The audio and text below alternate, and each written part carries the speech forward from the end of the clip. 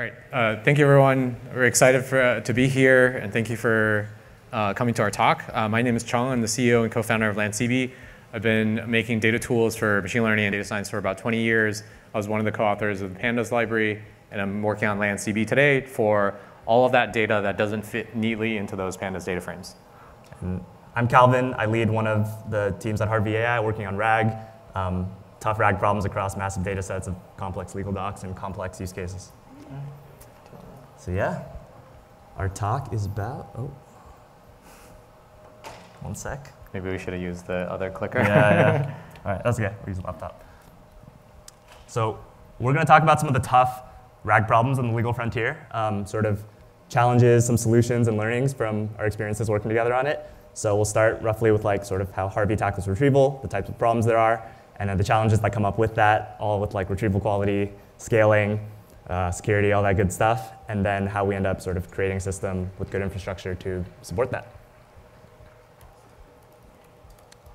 So first of all, a quick intro to what Harvey is. We're a legal AI assistant, so we sell our sort of AI product to a bunch of law firms to help them do all kinds of legal tasks like draft, analyze documents, um, sort of go through legal workflows. And a big part of that is processing data. So we handle data of all different sort of volumes and forms, um, the sort of different scales of that are we have an assistant product that's like on-demand uploads, same way you might like on-demand upload to any AI assistant tool. So that's like a smaller 1 to 50 range. We have these vaults, which are sort of uh, larger scale project context. So if there's like a, a, big deal going on that the law firm's working on, or like a data room where they need sort of all their contracts, all their you know, litigation documents and emails in one place, that's a vault. And then the third is the largest scale, which is data corpuses which are like knowledge bases around the world, so like legislation, case laws of a particular country, um, all the sort of laws, taxes, regulations that go into it. So yeah, some big challenges that come, up, come with that. Uh, one is scale, just very large amounts of data. Uh, some of these documents are like super long and, and dense and packed with content. Um, sparse versus dense, I'm sure is like a sort of retrieval challenge that all of you deal with um, of how to represent the data, how to retrieve over it and index it. Uh, query complexity is a big one. We get very sort of difficult expert queries, and I'll show an example of that in the next slide. Um, the data is very domain specific and complex. Uh, there's sort of a lot of nitty gritty legal details that go into it, so we have to like work with domain experts and lawyers to understand it and try to like translate that into how we represent the data, how we you know index, query, preprocess over it. Um, data security and privacy is a big one. A lot of this data is sensitive for like confidential deals or confidential, I don't know, IPOs, financial filings, stuff like that. So we have to respect all that for our clients. And then of course, evaluation of how to make sure systems are actually good. So yeah, I'll show a quick demonstration of a retrieval quality challenge. So uh, this is just on the query side of like, this is maybe the average complexity of a query someone might issue in our product. Um, they're much more complex and maybe simpler ones, but this is right in the middle. And you can see that like there's a lot of different components that go into this. Um, there's sort of a, well, to read it out, it's like what is the applicable regime to covered bonds issued before 9 July 2022 under the Directive EU 2019-2062 and Article 129 of the CRR. So, you know, that, that's a handful. Um, but what goes into it is like there's a semantic aspect, there's sort of implicit filtering going on of like, you know, we want applicability before a certain date. Um, there's a specialized data set being referenced, which is EU laws and directives. Um, there's kind of keyword matches of like the specific you know, regulation directive ID. Um, it is multi-part in that it's sort of asking how this applies to two different regulations, like one directive, one article, and there's like domain jargon here, where this is like an abbreviation. Uh, I forget what it was, capital regulations, something. I looked it up this morning. Um, but yeah, it's just very complex, and we sort of need a, need a system that can tackle all this complexity and sort of break down this query and um, use all the appropriate technologies for the different parts of it.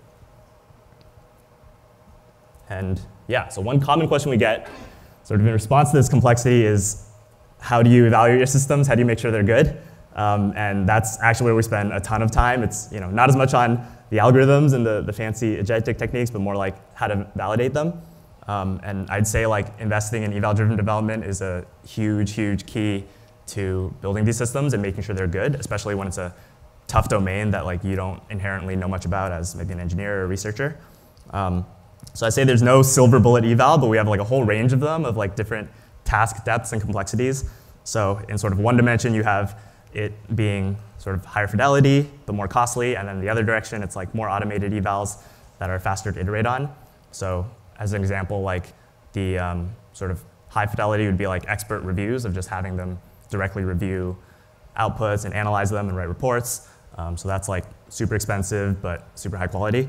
And then maybe something in between is like an expert labeled like set of criteria that you can maybe evaluate synthetically or evaluate in some automated way. So it's still expensive to curate, maybe a little expensive to run, but more, um, more tractable. And then the third is sort of the fastest iteration, which is um, sort of more auto automated quantitative metrics like just you know, retrieval precision and recall, sort of different, more deterministic success criteria of like, am I pulling documents from the right folder? Is it the right section? Do they have the right keywords in them? Things like that. And yeah, give you a quick sense also of sort of the scale and complexity on the data side, not only on the query side. So the data sets we integrate with are pretty massive. Um, as you can see, we support like, you know, data sets across all different kinds of countries, and for each one, there's sort of complex filtering and organization and categorization that goes into it.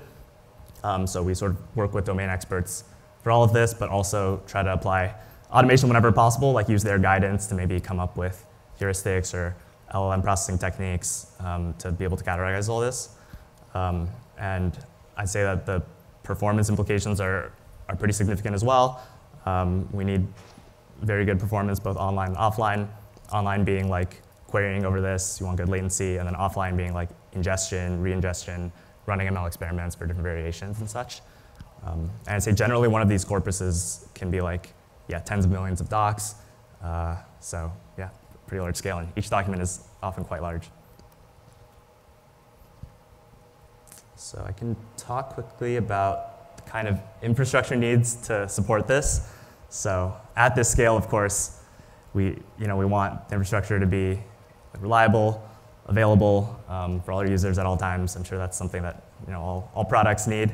Um, we also want smooth sort of onboarding and scaling where you know, we definitely want our ML and data teams to be able to focus more on the sort of the business logic and the quality um, and spinning up new applications and products for customers and you know, not too much about like the nitty-gritty details of the database or tuning that or manually scaling. Um, and of course, there's always some in between where you, you want to have awareness of it. It can't be like fully 1,000% automated.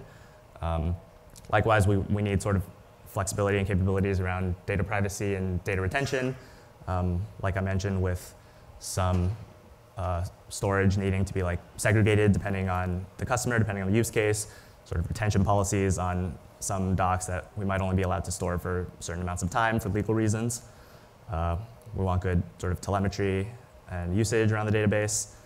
And then, of course, any sort of vector or, or keyword or any filtering database we need, we want it to support good performance, query flexibility, scale, especially for all the different kinds of query patterns I mentioned before, where it's like you need exact matches, you want semantic matches, you want filters, you might want sort of to sort of navigate it, maybe, yeah, agentically or like in some dynamic way.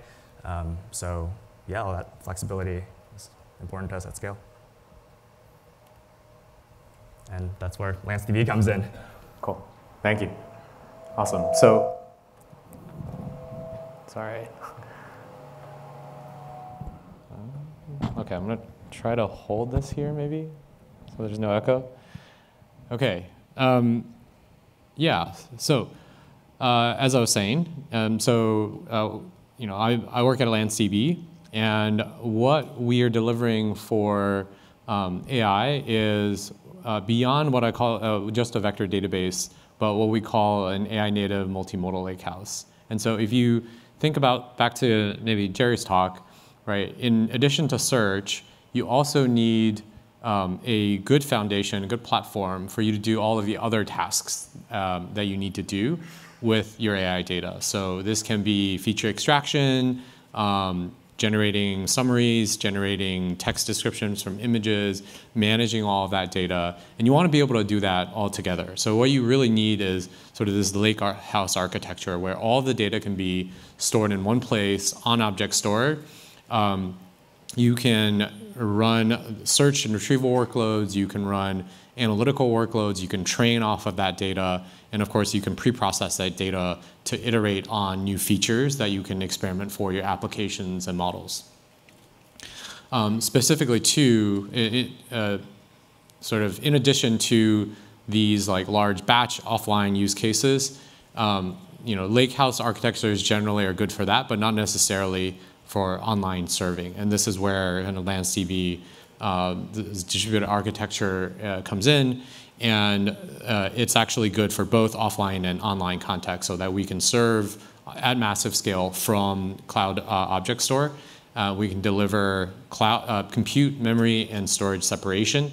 And we give you a simple API for sophisticated retrieval, whether you want to combine multiple vector columns, vector and uh, full text search, and then do re-ranking on top of that. Those are all available with an API in Python or TypeScript that feels um, what you know folks have told me feels kind of like pandas or polar, like very familiar to data workers who uh, are used to data frame type of APIs. And of course, for large tables, uh, we support GPU indexing. So I think the, our record has been around something like three or four billion vectors in a single table um, that can be in, uh, indexed in under uh, two or three hours. So um, all of that is to say like LanceDB excels at massive scale uh, and this is happening at a fraction of the cost because of the uh, compute storage separation and because we take advantage of object store. And um, so of course, uh, and I talked about uh, sort of having one place to put all of your AI data. So this is the only database where you can put you know, images and uh, videos and audio track next to your embeddings, next to text data, next to your um, tabular data, uh, time series data. You can put all of that in a single table.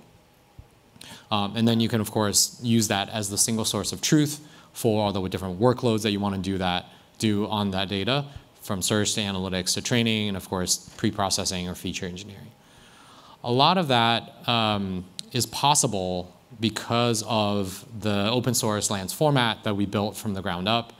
Um, so, you know, if you're working with multimodal data, whether it's documents, um, you know, PDF scan slides, or just large, even large scale videos, uh, if you're doing that in, let's say, like WebDataset or Iceberg Parquet, you're missing uh, uh, out on a lot of features um, and th things like you know, lack of random access or the inability to support large blob data or not being very efficient about schema evolution.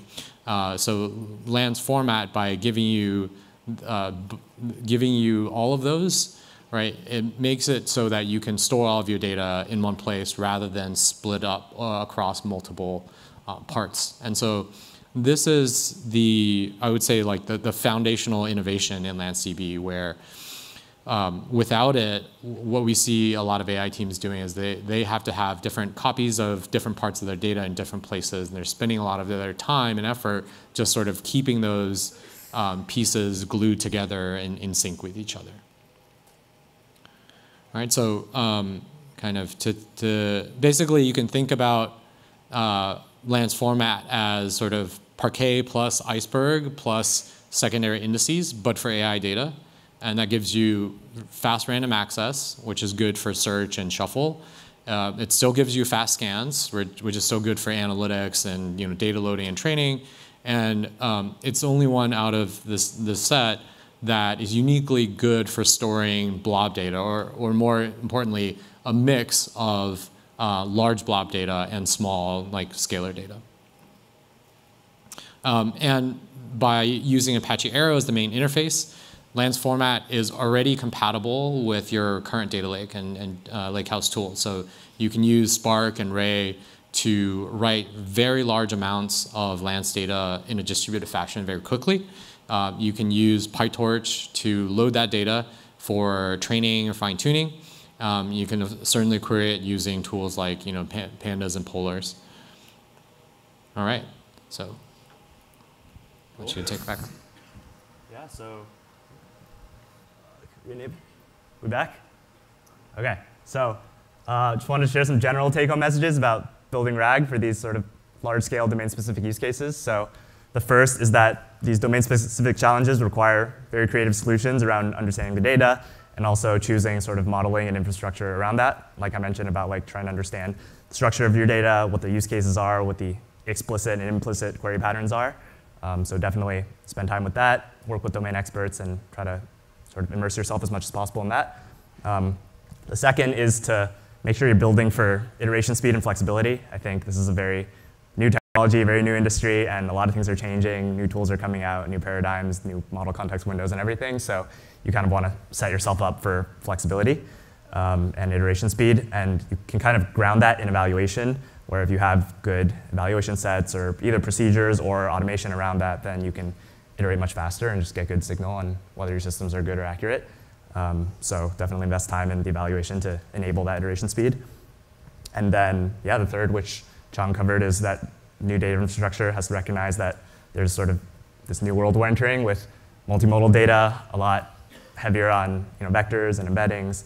Workloads are very diverse, and the scale is just going to keep getting larger and larger as we try to sort of ingest and uh, query over all the data that exists, public and private. So yeah, thanks for listening to our talk.